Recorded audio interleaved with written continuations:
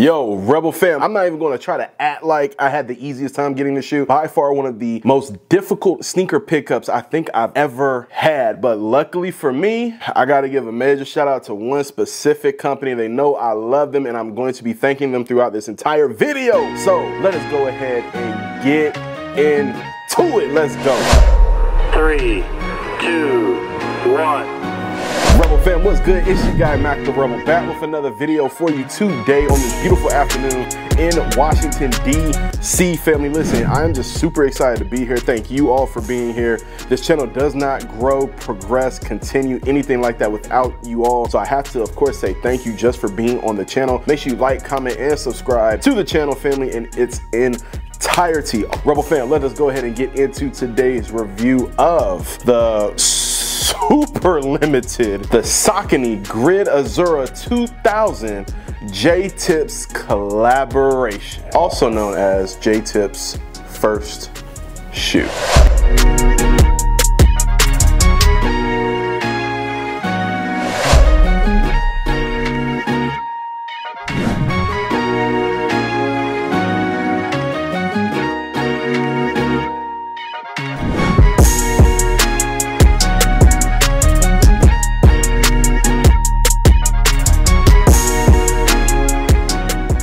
I'm not even gonna try to sit up here and cap. Major shout out to my family at Atmos USA.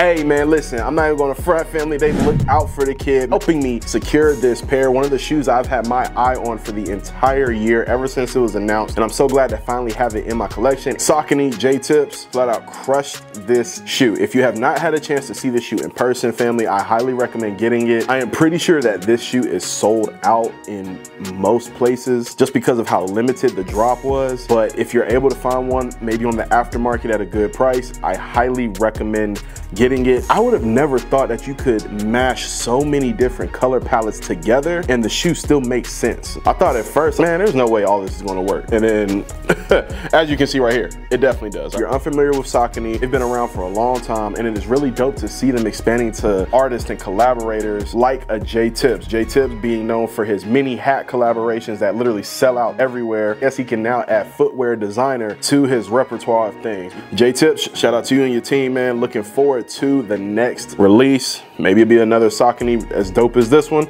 We'll see. As far as the materials go, have a see-through mesh lining right here on the top part of the shoe, right here on the upper. Now, of course, that has complemented with a zebra print gold trim Saucony logo right there on the side of the shoe. Taking on around the upper as well, family, you have a purple suede as well as that pink suede right there, blue suede on the back. All of that encompasses this see-through mesh liner that you have right here on the upper. So you have that see-through mesh going right here on the side, the toe box, as well as the forefoot part of the upper going up the shoe right here. Also have this waffle cotton material that is right there on not only the back heel of the shoe, but also throughout the tongue of the shoe as well. Blue suede that encompasses the toe cap, this bejeweled flower print going on all around the entire shoe as well. Then on the back, this checkerboard print right there on the heel. Wildest shoes that I'm now going to have in my collection, but honestly, I love this shoe. Is it the most sturdy feeling shoe? No, not at all. But one thing you can say about Saucony, most of the times their shoes are very comfortable and that has a lot to do with this grid system that they have right here in the soles of their shoe. Grid system going all the way throughout the shoe family. These really hard rubber outer soles going to definitely give you that sturdiness and that toughness that you want as you're walking. And so personally, I feel like this shoe is amazing. And of course, all of the details that are on the shoe, you know, something that Jae Tips lives by is like, you know, when it says right here, remember who fronted, you have the crown logo right there on the tongue of the shoe, right there on the inner sole. And then you have Saucony Worldwide right there on the tongue of the shoe. And then on the other side, you actually have Savior Originals. Jae Tips has a brand called Savior Worldwide. Saucony, of course, they go by Saucony Originals. Love seeing the mashup of co-branding right there on the tongue. Just another really dope effect on the shoe. I'm trying to get all these materials out the way. It comes with gray laces already in the shoe, but then you also have purple laces right here as well. If you guys can see them hanging off, well, you can definitely see them because this is the, I actually tried the right shoe on when I took them right out the box, but you guys can actually see that right there. Brown right there. And then on the left shoe, you actually have uh, the worldwide logo.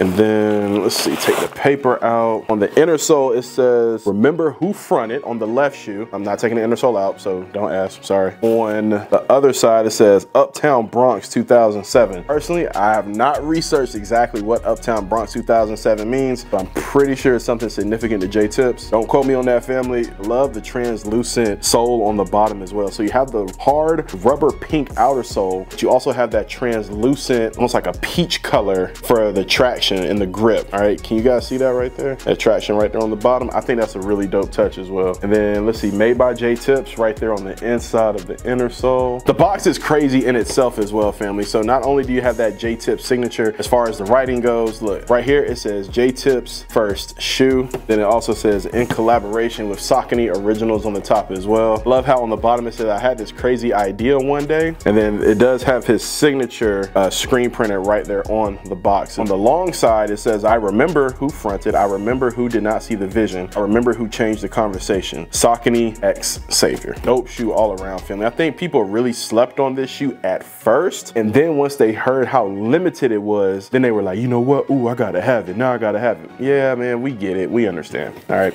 But yeah, family, on the interior, Oh, and it says never stop believing because dreams do come true. Take a picture in these. Uh, yeah, and then of course you have his Savior Worldwide logo right there on the side, man. So look, family, really, really dope shoe all around. On the inside is just plain Jane box, so nothing too crazy to see there. Tag does read Grid Azura 2000 Saucony Multi. So size 12, men's. So glad to have this pair in my hands finally. Oh my God. Again, major, major love and shout out to my family at Atmos USA. Family, listen, if you're not tapped in with the brand, make sure you shop. Their link is in the description of this video. So make sure you go to www.atmosusa.com and make sure you shop up with the team over there. Always got some good deals going on. Always got something going on, whether it's in Harlem, Philadelphia, or DC. Rebel fam, listen, I love you guys. I appreciate y'all. Thank you for taking the time out of your day to watch this review. I just wanted to give you my personal take on on how fire and how dope this shoe is. If you can get your hands on it, I say please definitely do so before the price starts shooting up on the aftermarket.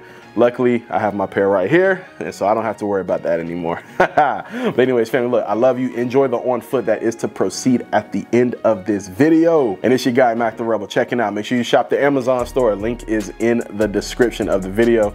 I love you, family. Peace.